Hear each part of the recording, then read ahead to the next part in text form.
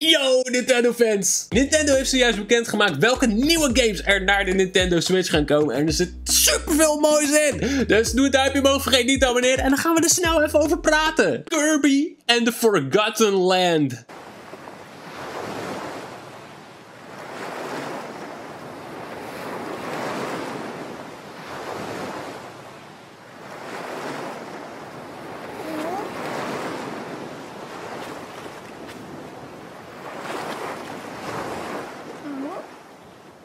Jongens, ik ging helemaal lijp toen ik dit zag. Ik vind het zo ontzettend vet, want dit lijkt gewoon eigenlijk op Super Kirby Odyssey of zo. Volgens mij kan dit echt een van de tofste Kirby games ooit worden. Hij ziet er weer niet echt heel erg moeilijk uit. Dat is een beetje de kant die ze op zijn gegaan met Kirby games. Die waren vroeger wel uitdagend. Tegenwoordig zijn ze best wel makkelijk. Maar oh, kijk deze kleurtjes. Het ziet er allemaal zo schattig en leuk uit. Ik wil rondlopen in deze wereld. Ik, ik, dit was mijn favoriete aankondiging van de afgelopen Nintendo Nintendo Direct, Kirby and the Forgotten Lands. De Nintendo Switch Online collectie wordt uitgebreid, onder andere met Nintendo 64 games. Het zal al in oktober gaan gebeuren dat wij onder andere The Legend of Zelda Ocarina of Time, Mario Golf en andere vette Nintendo 64 games kunnen spelen op de Nintendo Switch. Ook Mario Kart is van de partij en dat is natuurlijk super lachen, maar het meest kijk ik uit naar Pokémon Snap en naar Zelda Majora's Mask. En die laatste, die wordt later toegevoegd. Dus daar heb ik zoveel zin in. Aan de andere kant betekent het misschien wel dat Majora's Mask en Ocarina of Time niet geremaked gaan worden voor de Nintendo Switch.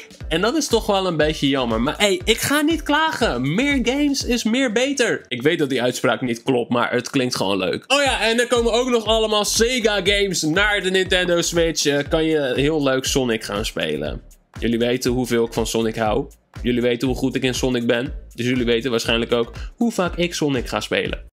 Zoveel keer. Maar leuk voor de Sega-fans. Ook komt er in oktober een Animal Crossing Direct. En ik kan het me niet herinneren dat er ooit een Animal Crossing Direct is geweest. Dus ik denk dat er heel veel updates gaan komen voor Animal Crossing. Want waarom zou je anders een hele Nintendo Direct alleen aan Animal Crossing wijden? We weten dat Brewster komt met zijn café. Dat lijkt me super grappig. Maar we weten ook dat er nieuwe Amiibo kaarten komen. En misschien betekent dat wel nieuwe villagers. En dan ga ik weer keihard Animal Crossing spelen want dat is een van mijn favoriete Nintendo Switch games. En ik kan niet wachten op een goede update. Dan moeten we het even hebben over de animatiefilm van Super Mario die eind 2020 uit gaat komen. De stem van Super Mario is niet die van Mario, maar die van Chris Pratt. En dat is best grappig. Maar wat nog veel grappiger is, is dat de stem van Bowser wordt ingesproken door de eindbaas Jack Black. Er zijn nog geen beelden geweest, we weten nog niks over de game. We weten alleen wie allemaal stemmen in gaan spreken. En dat ziet er heel veelbelovend uit, want het zijn niet de minste namen. Het zijn echt mega bekende namen in filmland. Dus um, ik ga die film sowieso checken eind 2022. Binnenkort komt ook Metroid Dread uit. En ik weet niet of ik die op YouTube of op Twitch ga spelen, maar ik ga die zelf wel helemaal kapot spelen. Want ik ben een hele grote Metroid-fan. Ik had ook gehoopt op wat Metroid Prime nieuws, maar dat is helaas niet van gekomen. Maar Metroid Red wordt denk ik wel een van mijn favoriete games van 2021. Want ja, ik kan hier gewoon niet op wachten. Ik moet dit spelen. Samus Aran, the most powerful bounty hunter in the galaxy, embarks on a new mission to the uncharted planet ZDR. Her objectives? Confirm whether the deadly X-parasite still exists and figure out why the EMI research robots in search of it have mysteriously gone dark. En dan bracht Nintendo ook wat informatie of een filmpje uit over Splatoon 3.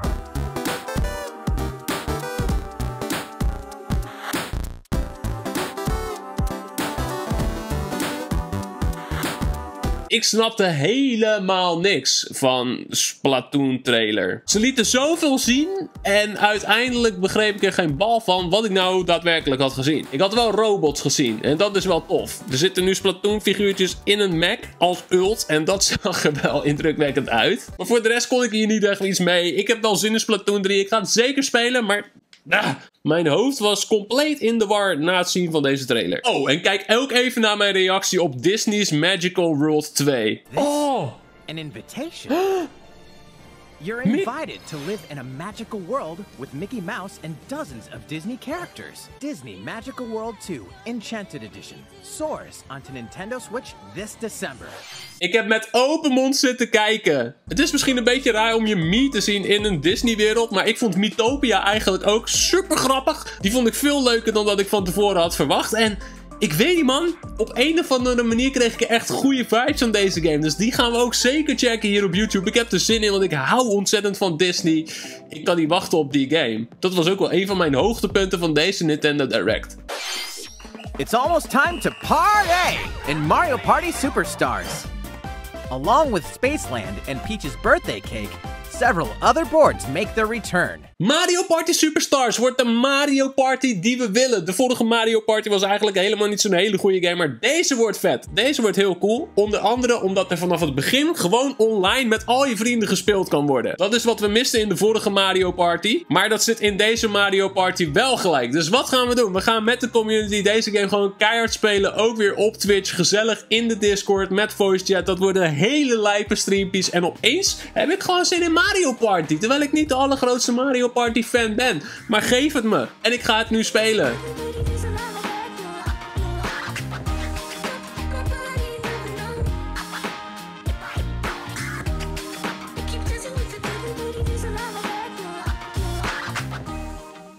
Een ander leuk ding is dat er gewoon afspeellijsten zijn voor allerlei minigames. Dus dat je niet per se een spelbord hebt, maar dat je gewoon de minigames achter elkaar kan spelen. En dat wil ik gewoon. Minigames is het leukste aan Mario Party. Let's go!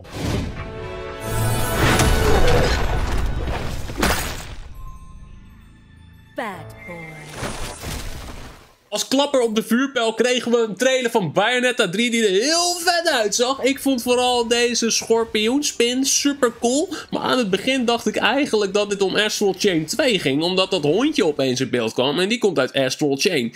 Daar zou ik ook blij mee geweest zijn met Astral Chain 2. Maar ik weet dat er heel veel Bayonetta fans zijn die op nieuws waren aan het wachten van de nieuwe Bayonetta game. Dus die zullen ongetwijfeld super blij zijn. Ja, en het wordt wel een gamepie hoor. Het wordt wel een gamepie. Het is geen Mario, Zelda of Pokémon. Maar als je van dit soort spelletjes houdt, weet je, Bayonetta games zijn altijd goed.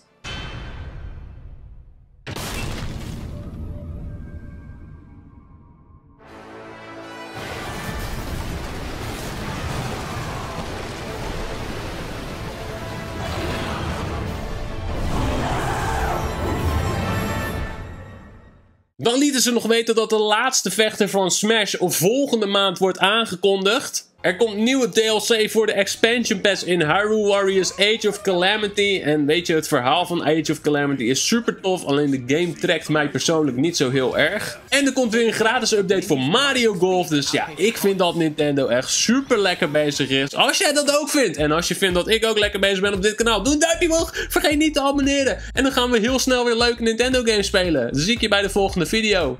Mazzel! Oh ja, en laat trouwens even weten wat jouw favoriete onderdeel was uit deze Nintendo Direct. Dankjewel!